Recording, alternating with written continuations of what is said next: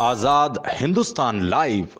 सच के साथ। कांग्रेस विधायक के विधानसभा क्षेत्र में पक्षपात पूर्ण रवैया अपना रही सरकार, निलय डागा। विधायक निधि से लगभग 33 स्वीकृत कार्यों को विद्युत कंपनी ने किया निरस्त, बैतुल। कांग्रेस के बैतुल विधायक निलय डागा ने आरोप लगाया कि सरकार कांग्रेस विधायकों की विधानसभा में पक्षपात पूर्ण काम कर रही है। मंत्रालय में स्वीकृत योजनाओं के काम रोक दिए जाते हैं। जानबूझकर विकास कार्यो में रोड़ा अटकाया जा रहा है। बैतुल विधानसभा क्षेत्र का ज़िक्र करते हुए विधायक ने बताया, बैतुल विधानसभा क्षेत्र में विधायक निधि ऐसी लगभग तैतीस स्वीकृत कार्यो को विद्युत कंपनी द्वारा निरस्त कर दिया गया। श्री डागा ने आरोप लगाया कि सरकार द्वारा कांग्रेस विधायकों के विकास कार्यों को जानबूझकर लंबित रखा जा रहा है। विधायक निधि से इन कार्यों को मिली थी स्वीकृति। विधायक कार्य से मिली जानकारी अनुसार विधायक निधि से सार्वजनिक प्रयोजन हेतु ग्राम बटामा में स्काई सिटी कॉल विद्युतीकरण कार्य, ग्राम सोना घाटी में प्रकाश रोलिंग शटर के पीछे विद्युतीकरण कार्य, ग्राम खखराजाब मठी में झरबड़े के मकान, नारायण मालवी के मकान तथा तीन विद्युत पुल की स्थापना, मांझी नगर में लाडो छात्रावास के बाजू में विद्युतीकरण कार्य शिवा गायकवाड़ के घर से रवि प्रजापति के घर तक तीन विद्युत पोल की स्थापना।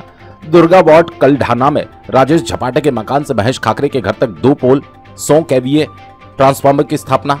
खंजनपुर में रामकृष्ण कॉलेज के पीछे आशीष पवार के घर के पास से चार विद्युत पोल की स्थापना। सुनील भादे के घर से नदी तक विद्युतीकरण कार्य। मोती वार्ड में अब्दुल सत्तार के घर से नदी तक विद्युतीकरण कार्य। मोती वार्ड में बंजारे के घर से बारसकर के घर तक एक विद्युत पोल की स्थापना।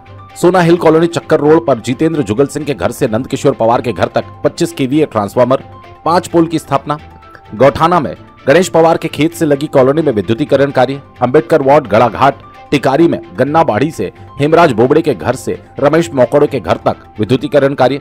किदवई वार्ड गोठाना में बालक दास बाबा के पीछे पांडे के घर से पाल के घर तक दो विद्युत पोल की स्थापना। किदवई वार्ड गोठाना में विद्यार्थी स्कूल के पास चार विद्युत पोल की स्थापना। किदवई वार्ड में शर्मा पेट्रोल पंप के पीछे एक विद्युत पोल की स्थापना होना था। ऐसे ही विधानसभा क्षेत्र के ग्रामीण क्षेत्र में विद्युतीकरण, सड़क ट्रांसफॉर्मर लगाने का काम स्वीकृत हुए थे। उस पर भी सरकार ने रोक लगा दी। आज़ाद हिंदुस्तान लाइव जिला ब्यूरो, देवीनाथ लोखंडे की रिपोर्ट।